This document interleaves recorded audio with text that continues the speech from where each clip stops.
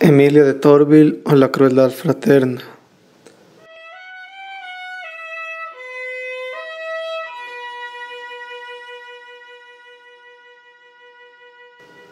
Nada es tan sagrado en una familia como el honor de sus miembros. Pero si ese tesoro llega a empañarse, por precioso que sea, aquellos a quienes importa su defensa deben ejercerla aún a costa de cargar ellos mismos con el vergonzoso papel de perseguidores de las desdichadas criaturas que les ofenden? ¿No sería más razonable compensar de alguna otra forma las torturas que infligen a sus víctimas y también esa herida, a menudo quimérica, que se lamentan de haber recibido? En fin, ¿quién es más culpable a los ojos de la razón? ¿Una hija débil o traicionada o un padre cualquiera que por erigirse en vengador de una familia se convierte en verdugo de la desventurada? El suceso que vamos a relatar a nuestros lectores tal vez aclarará la cuestión.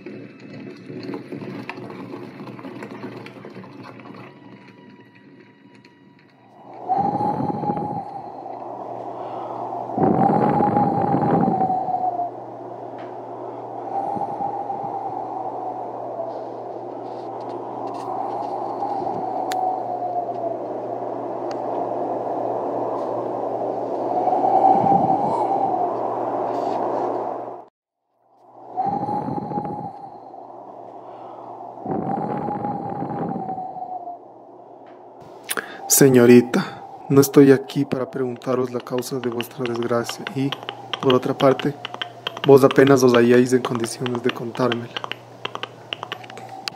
Nuestra infortunada joven pasó bastante bien la noche, pero durante seis días aún no se halló en condiciones de relatar a su benefactor todo lo relacionado con ella. Por fin, la noche del séptimo día, mientras todo el mundo seguía ignorando en casa del conde que estaba allí escondida y ni siquiera ella misma Gracias a las precauciones que había tomado, sabía dónde se hallaba, rogó al conde que le escuchara y que, ante todo, fuera indulgente con ella, cualesquiera que fuesen las faltas que iba a revelarle. Soy hija, señor, del presidente de Torville, hombre demasiado conocido y demasiado célebre dentro de su profesión para que no le conozcáis. Desde que salí del convento hace dos años nunca había abandonado la casa de mi padre tras la pérdida de mi madre, siendo muy niña, él solo se encargaba de mi educación y puedo afirmar que no regateaba nada para dotarme de todo cuanto pudiera realzar los encantos propios de mi sexo. Las atenciones, los planes que mi padre acariciaba para buscarme el mejor partido posible, incluso una cierta predilección, todo ello, repito, despertó bien pronto la envidia de mis hermanos. Uno de ellos, presidente desde hace tres años, acababa de cumplir veintiséis años, el otro, consejero desde no hace tanto tiempo, pronto cumpliría veinticuatro.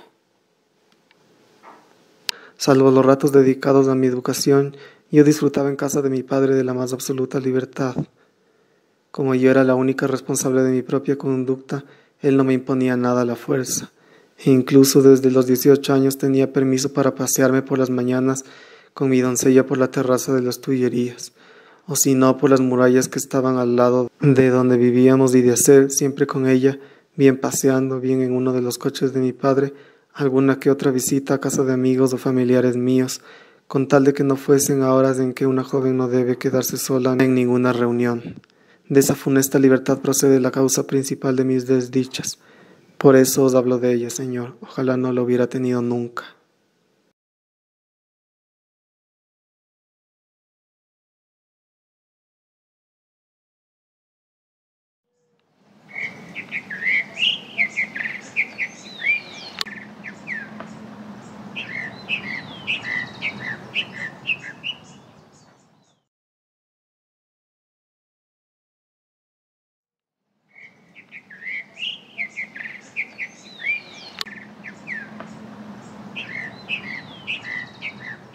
Hace un año, cuando me paseaba, como os he dicho, con mi doncella, que se llama Julia, por una sombría alameda de las Tullerías, en la que me sentía más a solas que en la terraza y en donde creía que respiraba un aire más puro, se acercan a nosotras seis atrevidos muchachos y nos damos cuenta, por las indecentes proposiciones que nos hacen, de que nos han tomado ambas por lo que se suele llamar mujeres de la calle.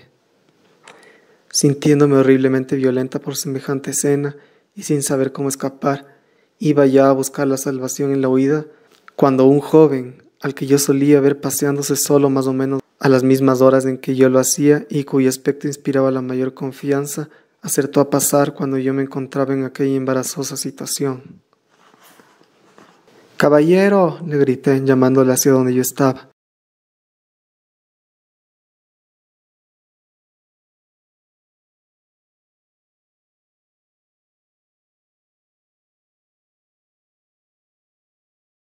Señorita, me dice un poco antes de llegar a mi portal, creo que lo más prudente es que os deje aquí. Si os acompañara a vuestra casa tendríais que explicar el motivo. Eso tal vez os acarrearía la prohibición de seguir saliendo. No contéis, pues, lo que acaba de ocurrir y seguir acudiendo como las seis al mismo paseo, ya que eso os distrae y vuestros padres os lo permiten. No dejaré de ir allí ni un solo día y siempre me hallaréis dispuesto a perder la vida, si fuera preciso, por enfrentarme a cualquier cosa que pueda turbar vuestra tranquilidad. Una advertencia tan oportuna, un ofrecimiento tan galante, todo ello hizo que mirara aquel joven con mayor interés del que había creído sentir por él hasta entonces.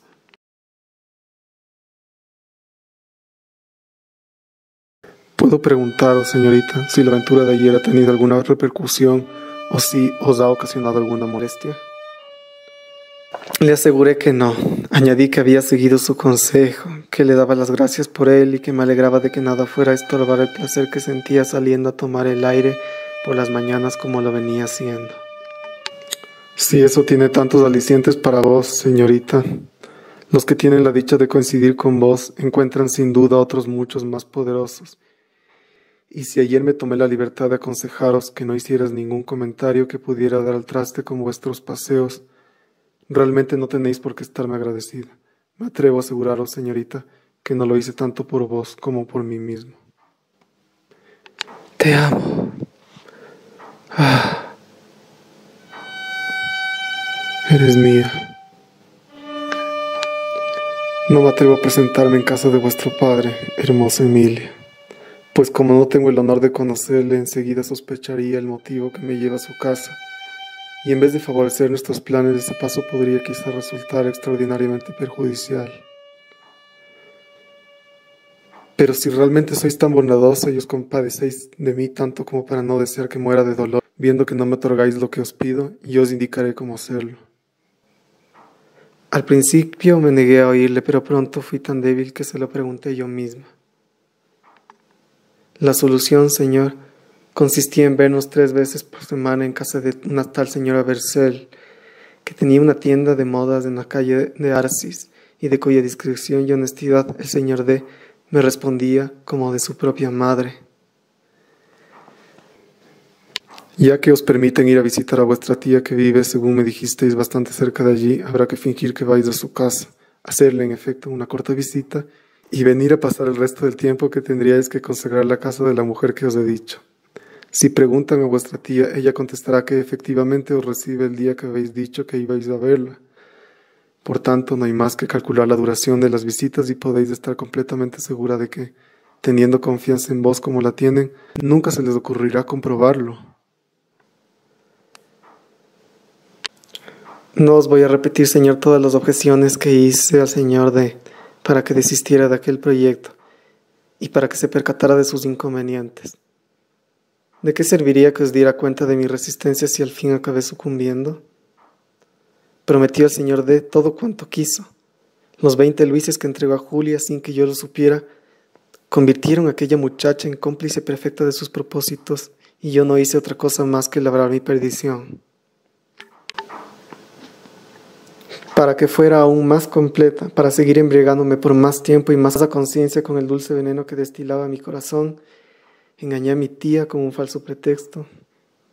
Le dije que una de mis amigas, a quien ya se lo había prometido y que debía contestar en consecuencia, deseaba obsequiarme invitándome tres veces por semana a su palco de Francois, que no me atrevía a decírselo hacia mi padre por temor a que se opusiera, sino que seguiría diciendo que iba a su casa y le suplicaba que así lo asegurara. Tras algunas reticencias mi tía no pudo resistirse a mis súplicas. Convinimos que Julia iría en mi lugar y que al volver del teatro yo pasaría a recogerla para regresar juntas a casa. Fatal ceguera de las pasiones. Por fin empezaron nuestras citas en casa de la Bercel. Su almacén era magnífico, su casa absolutamente decente y ella una mujer de unos 40 años en la que creí que podía confiar por completo. Por desgracia, confié excesivamente tanto en ella como en mi amante el pérfido. Ha llegado el momento de confesároslo, Señor. La sexta vez que le encontraba en aquella funesta mansión, cobró tal dominio sobre mí, hasta tal extremo supo seducirme, que abusó de mi debilidad y en sus brazos me convertí en el ídolo de su pasión y en víctima de la mía propia. Placeres crueles.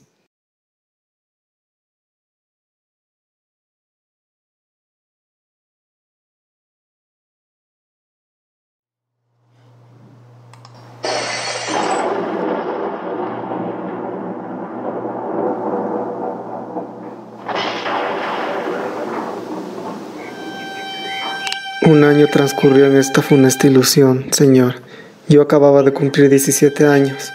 Mi padre planeaba día tras día la conveniencia de un compromiso y podéis imaginaros cómo me hacían estremecer aquellos proyectos, cuando una aventura fatal vino al fin a precipitarme al eterno abismo en que me hallo. Triste designo de la providencia, sin duda, que quiso que algo en lo que tuve ninguna culpa sirviera para castigar mis verdaderas faltas para así demostrar que jamás podremos esquivarla, que siga a todas partes a aquel que parece escapársele y que con el acontecimiento que menos se puede imaginar provoca sin ruido ese otro que servirá para su venganza. Lo que me decía aquella mujer era algo tan sencillo, tan natural la manera y el tono que empleó.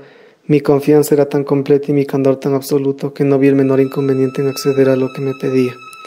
No cesó ni por un momento de lamentarse ante la imposibilidad de seguir prestándonos sus servicios. La casa a la que me llevaba estaba en la misma calle, a unos 60 o 80 pasos de la casa de la Bercel. En el exterior no vi nada que me desagradara, una puerta cochera, bonitos ventanales a la calle, un aire de decoro y de pulcritud en todo. Sin embargo, una voz misteriosa parecía gritarme desde el fondo de mi corazón que un acontecimiento singular me esperaba en aquella mansión fatal. Sentía una especie de repugnancia a cada escalón que subía. Todo parecía decirme, ¿A dónde vas, desdichada? Aléjate de estos siniestros parajes.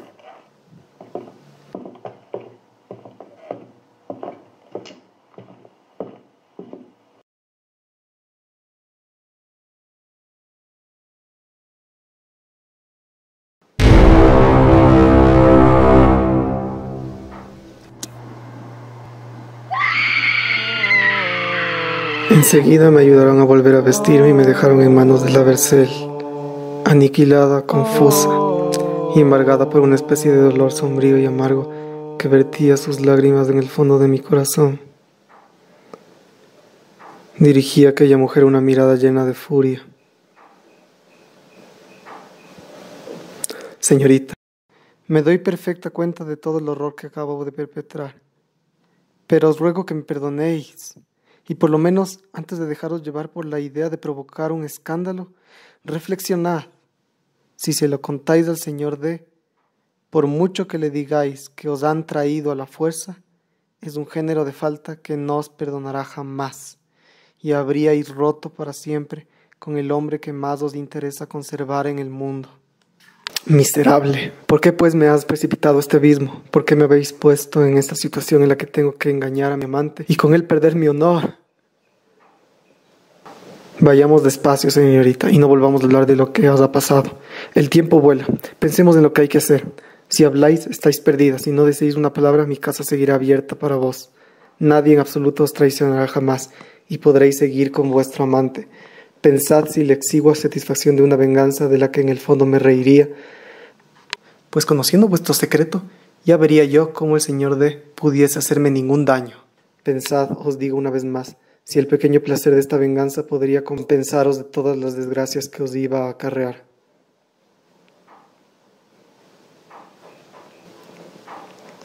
Me di cuenta entonces y tuve que ceder.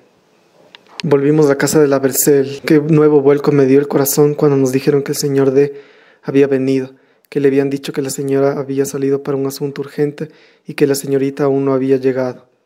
Y al mismo tiempo una de las muchachas de la casa me entregó un billete que había escrito a toda prisa para mí. Contenía solamente estas palabras. No os he encontrado. Supongo que no habéis podido venir a la hora acostumbrada. No podré veros esta tarde. Me es imposible esperaros. Hasta pasado mañana, sin falta. Aquel billete no me tranquilizó en lo más mínimo, su frialdad me pareció un mal augurio. No esperarme, tan poca paciencia. Todo me turbaba hasta el extremo que me es imposible describiros. ¿No podía haber observado acaso nuestra salida, habernos seguido? ¿Y si lo había hecho, no era yo una mujer perdida? La Bercel, tan inquieta como yo, interrogó a todo el mundo. Le dijeron que el señor D había llegado tres minutos después de haber salido nosotras que parecía muy excitado, que se había ido enseguida y que había vuelto para escribir aquel billete una media hora después. Cada vez más inquieta mandé a buscar un coche, pero podréis creer, señor, hasta qué grado de desfachatez osó llevar su depravación a aquella indigna mujer. Señorita, me dijo al verme salir, no digáis nunca una sola palabra de todo esto. Os lo vuelvo a aconsejar, pero si por desgracia llegara a romper con el señor D, creedme, Aprovechad vuestra libertad para pasarlo bien, que eso vale mucho más que un solo amante.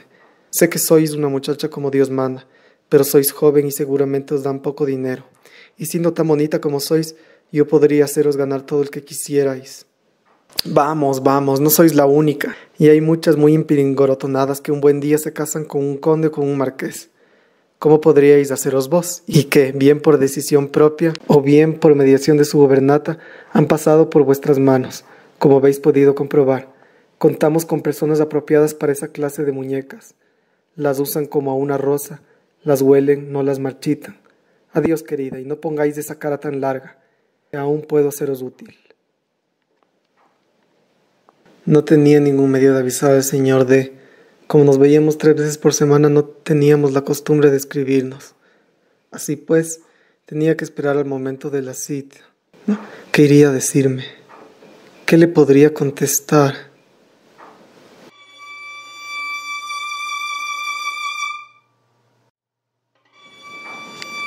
Al día siguiente de todo aquello me encontré con mi hermano. ¿Por qué te tomas la libertad de salir sola tantas veces a la semana y ahora semejantes? Voy a pasar la tarde a casa de mi tía, le contesté. Vamos, vamos, amigo mío, exclamó mi otro hermano, que se había acercado durante la conversación. La señorita tiene sus distracciones, no hay que estorbárselas. Ella está buscando un marido y sin duda, con semejante comportamiento le saldrán una infinidad. Y los dos me volvieron la espalda con sequedad. Al fin llegaba el día fatal. Salgo con Julia y hago como me acostumbro. Le dejo en casa de mi tía y me acerco en mi coche a toda prisa a la casa de la Bercel. Bajo. Al principio me extraña el silencio y la oscuridad que reinan en la casa. No encuentro ninguna cara conocida. Sale solo una mujer mayor a la que nunca había visto y a la que, para mi desgracia, habría de ver demasiado en lo sucesivo, que me dice que me quede en la habitación en donde estoy, que el señor D, pronuncia su nombre, enseguida vendrá a reunirse conmigo.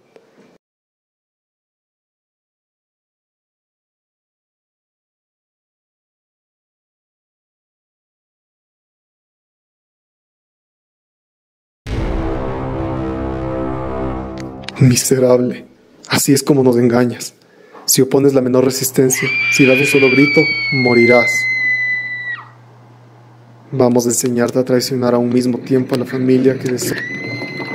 Tras estas últimas palabras, el conocimiento me abandonó por completo y cuando recobré el sentido me hallé en el interior de un carruaje que me parecía que iba a toda velocidad. Entre mis dos hermanos y la vieja que acabo de mencionar con las piernas atadas y las dos manos sujetas con un pañuelo. Llegamos a un castillo situado al fondo de un bosque que pertenecía a mi hermano mayor. El coche entró en el patio, me ordenaron que me quedara en él hasta que los caballos y los sirvientes estuvieran lejos. Entonces mi hermano mayor vino a buscarme. Esta es vuestra habitación, señorita, me dijeron mis hermanos. Una hija que deshonra a su familia no puede estar bien más que aquí. Vuestra alimentación será proporcionada. Me mostraron un pedazo de pan parecido al que se da a los animales. Y como no deseamos haceros sufrir por mucho tiempo, y por otra parte queremos privaros de cualquier medio de salir de aquí, estas dos mujeres serán las encargadas de haceros una sangría en ambos brazos tantas veces por semana como ibais a ver al Señor de... Y no nos quedaremos verdaderamente tranquilos hasta que sepamos que nuestra familia se ha desembarazado de un monstruo como vos.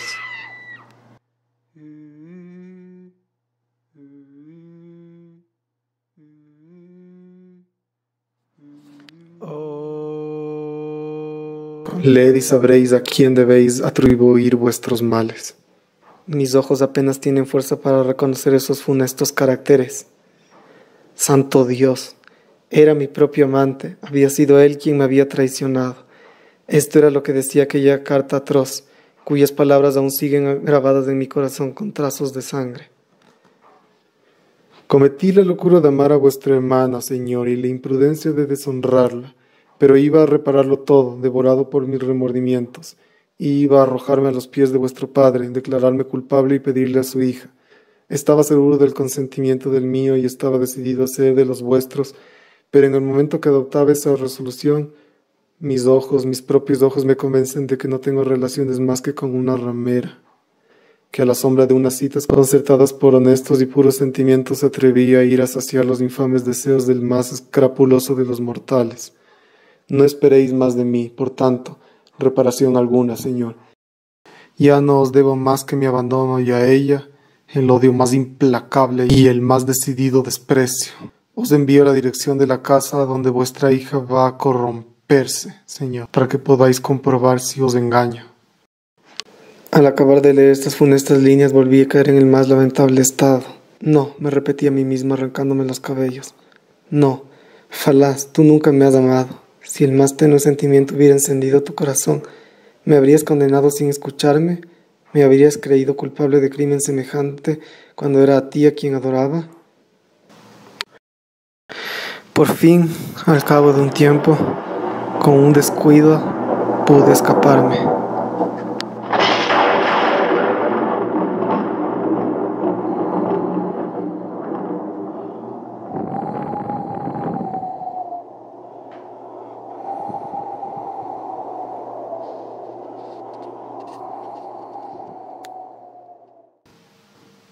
Culpo de todo, sin excepción, a la conducta de aquel a quien amáis. Pero la de vuestros hermanos resulta aún más incalificable. Se mire por donde se mire, es atroz. Para ayudaros voy a actuar, señorita, de una forma totalmente distinta. Pero os advierto que solo puedo hacerlo con las siguientes condiciones. Primero, tenéis que darme por escrito la dirección de vuestro padre, de vuestra tía, la de la Vercel, y la del hombre al que os llevó la Bercel. Y segundo, señorita, tenéis que revelarme sin más requerimientos el nombre de la persona a la que amáis. Entonces, Señor, me exigís que os dé el nombre de mi seductor. Así es, señorita. Sin eso nada puedo hacer. Bien, Señor es el marqués de Luxol. El, el marqués de Luxol, con que ha sido capaz de algo semejante.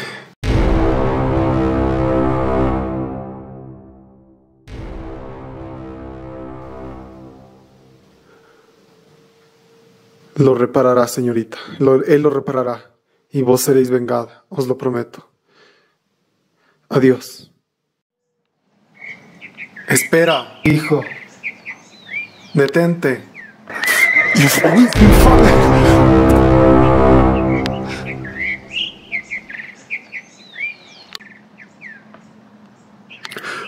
Perdóname. Hombre cruel, qué sufrimientos has infligido a aquella que os amaba. Te adoro. ¿Podías creerla capaz de la infamia que llegasteis a sospechar? Perdona un arrebato de espantosos celos basados en engañosas apariencias. Cuando se ama de verdad, decían nuestros antiguos trovadoras, se oiga lo que se oiga, se vea lo que se vea en contra de la amada, no se debe dar crédito ni a los oídos ni a los ojos, hay que escuchar únicamente el corazón.